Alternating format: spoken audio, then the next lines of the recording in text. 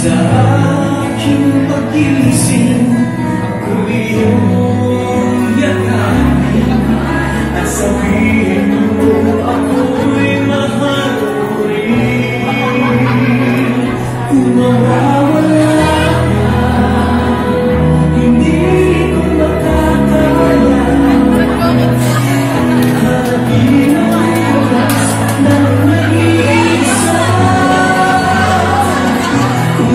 away.